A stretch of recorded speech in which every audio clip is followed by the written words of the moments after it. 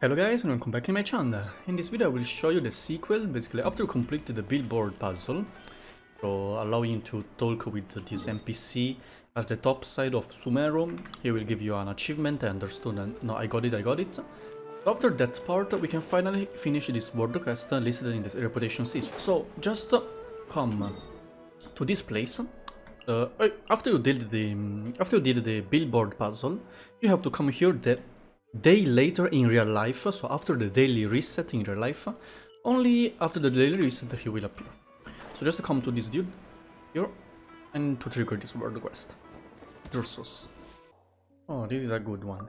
Basically, he will ask you to help um, build a puzzle, like yeah, for other people. It's better to start with the root system. The Lotus and Leaf uh, ship interesting. Yeah, it's a really really simple world quest, a straight line. This video is mainly to show you where to find him and also how to trigger it. Remember to do the billboard puzzle first. If you don't know how to uh, do that, I made a video about it as well. After that you have to come this place, teleport waypoint and just fly there.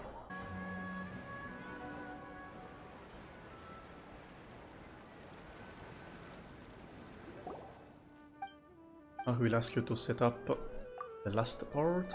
Mm -hmm will suggest let's make a bit straightforward this time. Let's me write something. Let's use the waterfall as a theme. Imagine if uh, MiHoYo like makes the ability for uh, for other people to like um, create puzzles for other others. Uh, that will be a bit hard. Maybe in the teapot. you can put the signs, uh, you can put the last tre treasure somewhere, etc, etc.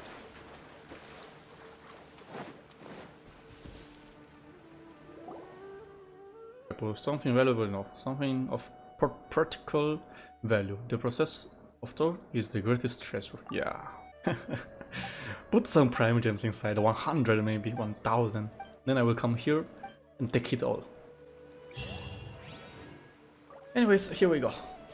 We can go back to the reputation system of Sumeru and complete this world quest. Yeah, only last three remain. And guess what? All three are related to daily commissions. You have to be lucky in daily commissions, get the commission, then uh, after commission you will be unlock them. Anyways, that's all guys. Hope this video helped you to complete uh, this world quest. Thanks for watching and see you in the next video. Bye!